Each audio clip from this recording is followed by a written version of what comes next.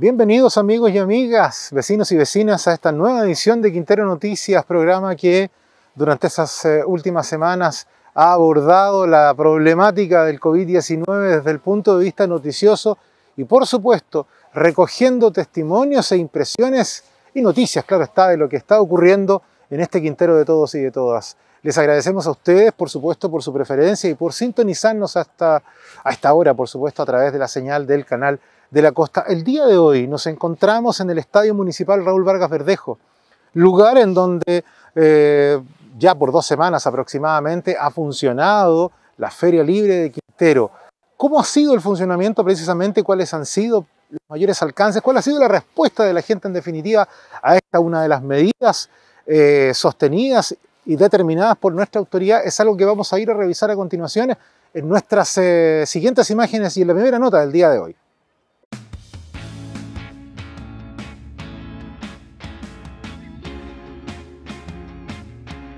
Bueno, medidas de seguridad. Al ingreso de la feria eh, se controla la temperatura a todas las personas que ingresan a la feria.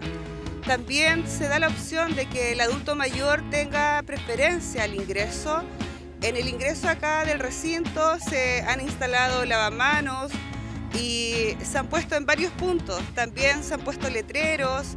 Adentro eh, también se va indicando a la gente que tome las medidas eh, necesarias eh, para poder comprar sus productos. También se ha desplegado bastante eh, personal municipal para poder indicarle a las personas que el circuito sea rápido, más expedito y que la gente utilice el espacio correspondiente de una u otra persona.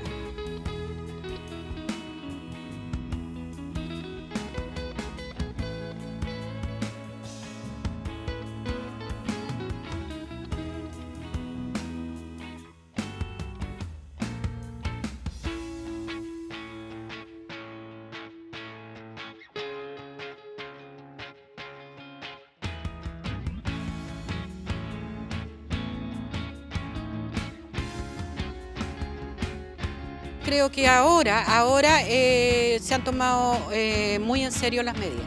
¿ya? Encuentro que está todo más organizado, ha habido un poco menos gente, he visto, eh, menos gente de fuera. La gente ha tomado conciencia por sobre todo el uso de mascarillas, de cuidarse.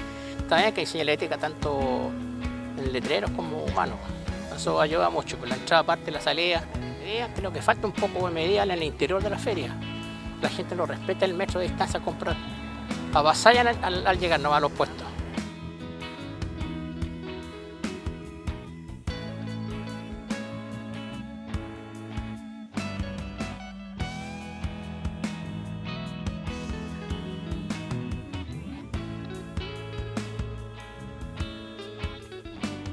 Y a propósito de la nota que acabamos de revisar, amigos y amigas, permítanme contarles que desde este sábado 18 en este lugar comienza a funcionar, o se implementará, mejor dicho, una medida que ha sido replicada en distintos lugares de nuestro país. Nos referimos a túneles de sanitización. Uno de ellos estará instalado en uno de los accesos a la Feria Libre y el otro en las inmediaciones de la ilustre municipalidad. Otra de las medidas que precisamente nuestra autoridad ha decidido implementar para ir entonces eh, achicando el rango de acción de este virus que como usted bien sabe hoy día en nuestro país eh, está presente y en el resto de las naciones ha generado una situación que claramente nos ha llevado a tomar decisiones importantes como las que acabamos de señalar. Y a propósito también de la Feria Libre, una buena noticia, porque a partir de este domingo, la Feria Libre en el Estadio Municipal recibe a los feriantes que comúnmente, usted ya lo sabe, se ubican en Loncura. Por lo tanto, a partir de este domingo, la Feria Libre de Loncura comienza a funcionar también en el Estadio Raúl Vargas Verdejo. Sobre esto les quiero invitar a escuchar una declaración que hace pocos instantes eh, nos ha compartido nuestra máxima autoridad, el alcalde de Quintero, Mauricio Carrasco Pardo. Yo quiero agradecer que esto me acompañe aquí el concejal Silva, a todo el Consejo Municipal de Autorización. Compramos dos equipos de estos que son los más modernos que, hay. Hay otros que son más a la chilena, pero quisimos asegurarnos con estos equipos. Cuestan 8 millones y medio cada uno. Compramos para ponerlo acá en el estadio porque queremos concentrar a toda la gente de los ambulantes y volver a abrir la feria de las pulgas completa acá en el estadio porque espacio hay. Así que invito a los feriantes a que vengan a trabajar al estadio, ya no trabajen más en sus casas, porque en la medida que se reúnan todos los feriantes en el estadio atrae más gente y, todos venden más. Eh, junto con esto vamos a instalar afuera de la municipalidad, en la área del banco, otro equipo estos mismos, para que la gente que, tenga la voluntad de llegar a su casa con los zapatos sanitizados, con la ropa sanitizada, eh, tenga la oportunidad de hacerlo. Así que vamos a, reunir todo y aprovecho de comunicar a la gente de Loncura que vamos a abrir la feria el día domingo acá en Quintero. Ah, en Loncura, si bien no vamos a obligar a que cierren, pero no están las, condiciones para abrir de, seguridad, así que vamos a abrir los días domingo también a contar de este domingo acá. Toda la inversión que ha hecho el municipio es para aplacar esta contingencia que estamos pasando hoy en día. Así que estos son dos túneles que se compraron, el Consejo Municipal aprobó estas plata, tenemos uno ya que llegó ahora, está instalado, yo creo que va a estar funcionando el sábado, si Dios quiere, y queremos que toda la gente venga acá al Estadio Municipal, la Feria de la Pulga, el tema de la feria en general, los que están, están afuera van a estar ahora aquí, en, todo enfocado aquí en el estadio para la seguridad de toda la gente que viene a comprar, así que estamos tomando medidas con el alcalde desde rato ya, así que lo ha dado buen resultado porque hasta el momento de hoy tenemos las dos personas que están infectadas y nada más, así que todas las medidas que se han tomado han sido buenas. En otras informaciones, vecinos y vecinas, pero siempre atendiendo la contingencia de la pandemia del COVID-19, permítame contarles que la Comisión de Medio Ambiente del Consejo Municipal solicitó un balance a los departamentos del municipio para conocer precisamente qué medidas ha tomado cada uno para enfrentar al coronavirus destacando la doble barrera sanitaria, la sanitización de espacios públicos y la entrega de mercadería a las personas que perdieron sus trabajos o se han visto afectadas económicamente por este dramático hecho del COVID-19. Les invito a revisar la siguiente información. La última Comisión de Medio Ambiente estuvo enfocada en las medidas que el municipio ha implementado a raíz del coronavirus.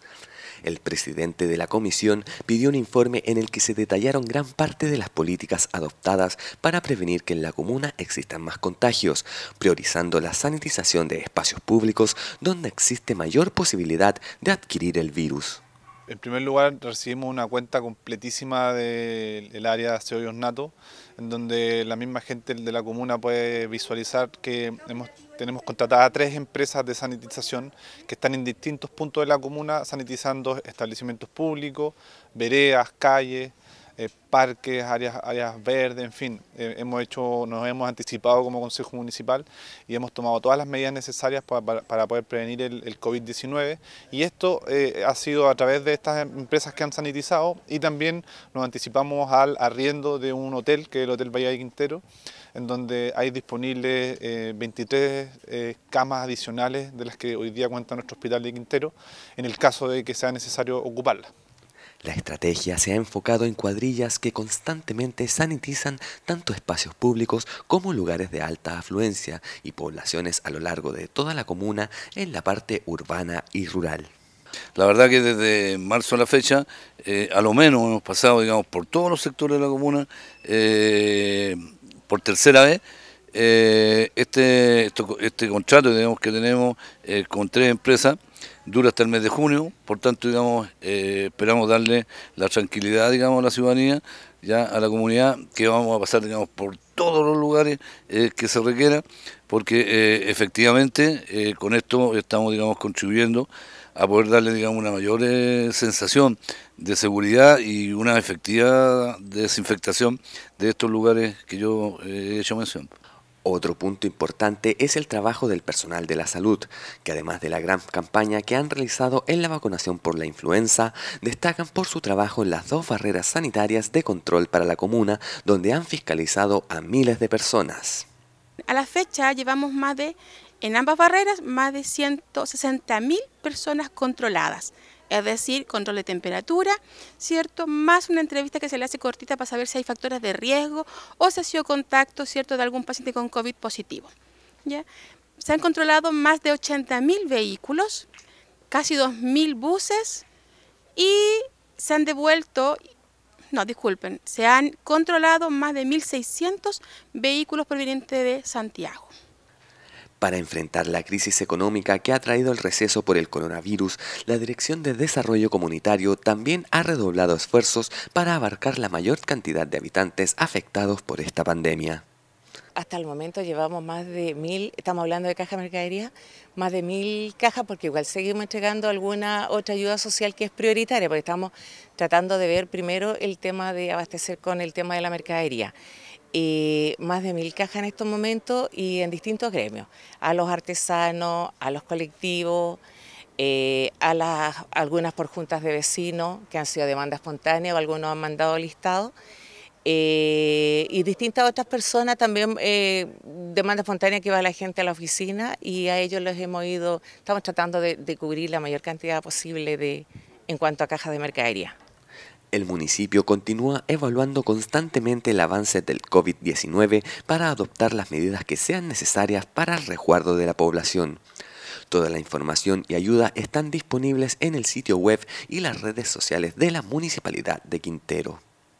En otra importante información, el presidente de la Comisión de Educación del Consejo Municipal, Antonio Aguayo, aseguró que de continuar la amenaza del coronavirus posterior al 27 de abril, las clases continuarán suspendidas hasta que las condiciones permitan el normal retorno a los establecimientos. Escuchemos sus palabras. Nosotros estamos muy contentos como Consejo Municipal porque eh, tomamos el acuerdo eh, de que si las condiciones no están dadas para el 27 de, abril, el cual el ministro dijo que volverían las clases, eh, no vamos a volver a clase y nos vamos a unir al resto de la municipalidad, es cierto, a la petición de que del no ingreso a clase. Esperemos obviamente que, que el ministerio nos pueda dar una respuesta mucho más clara, pero hay que proteger eh, a los estudiantes. Así que nuestra postura es que si no están dadas las condiciones, no vamos a volver a clase. El uso de mascarillas, claramente, es obligatorio hoy en la locomoción colectiva y también recomendable cuando asista a lugares de gran afluencia de gente. Por lo que el Ministerio de Salud elaboró un tutorial para la creación de mascarillas caseras que compartimos con ustedes a continuación. Pongan mucha atención. Hola, como profesionales de la salud queremos enseñarte a confeccionar tus propias mascarillas caseras con artículos que encuentras en tu hogar. Podrían ser pañuelos de tela de distinto tamaño o también una polera. Necesitamos también dos elásticos. Nuestro pañuelo lo vamos a doblar en tres partes. Por los extremos vamos a instalar los elásticos uno en cada extremo. Vamos a doblar al centro y vamos a instalar nuestra mascarilla. Lo importante es que cubra nariz y boca.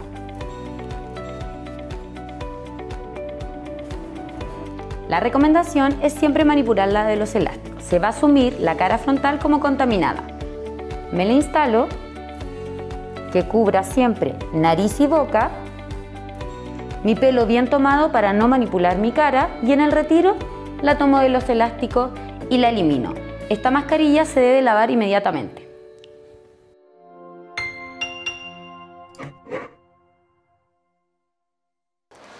Controversia ha generado el cierre del acceso a la reconocida Cueva del Pirata, el lugar, el lugar bien digo de reunión y encuentro turístico de nuestra comuna, claro está.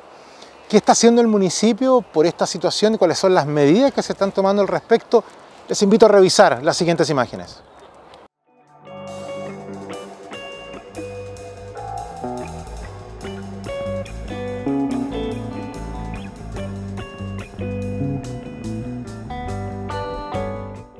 Mira, lo primero es verificar la escritura de la propiedad y que efectivamente eh, los deslindes que tiene eh, concuerden con lo que eh, se estaría ejecutando. también la empresa se le entrega un certificado de línea en que indica las líneas que, les correspondería ejecutar el cierre y obviamente después de eso la municipalidad va y revisa los, los deslindes y los cierres que se ejecuten de acuerdo a lo que, a lo que fue entregado por la dirección de obra. Sí, mira, por instrucciones del señor alcalde se solicitó eh, eh, tomar contacto con la empresa para poder generar las facilidades de eh, generar los accesos a la web pirata y no se pierda lo, lo, que existe hasta el momento. A su vez también tengo entendido que la municipalidad entraría en contacto con el propietario para ver la posibilidad de arrendar o comprar parte del terreno y mantener las condiciones actuales que, que existen en el lugar. Pero eso es un tema que lo están, está en evaluación. Y antes de comenzar a despedirnos, queremos recordarles que el Departamento Social está atendiendo los días martes y los días jueves en la entrada del gimnasio municipal, claramente entregando 100 números para la atención de personas que requieran ayuda durante esta importante crisis eh, sanitaria. Los invitamos, por supuesto, y usted bien lo sabe, ¿no? a seguir en nuestras redes sociales para mantenerse informado e informada en Facebook eh, y en Twitter, arroba Moni Quintero, y en Instagram, en arroba y guion bajo Moni Quintero. Vamos a estar con ustedes siempre compartiendo las noticias cada jueves a las 22.30 horas y en la repetición de los días lunes y viernes. Queremos agradecer enormemente a todas y cada uno de los vecinos y vecinas de Quintero que han eh, entendido y han respetado las eh, dinámicas, las instrucciones, las medidas que de alguna manera hoy día existen para tratar de evitar el contagio del COVID-19. Agradecer y mandar un cariñoso saludo también a nuestros colegas de la ilustre municipalidad que tanto en las barreras sanitarias como dentro de cada uno de los departamentos que se han mantenido en sus funciones entregan lo mejor de sí para cada uno de ustedes y por supuesto para intentar juntos superar esta pandemia.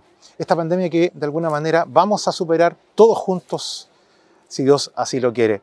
Un abrazo fraterno a todos y cada uno de ustedes. Mi nombre es Carlos Muñoz y les invito como siempre a informarse primero e informarse mejor. Hasta pronto.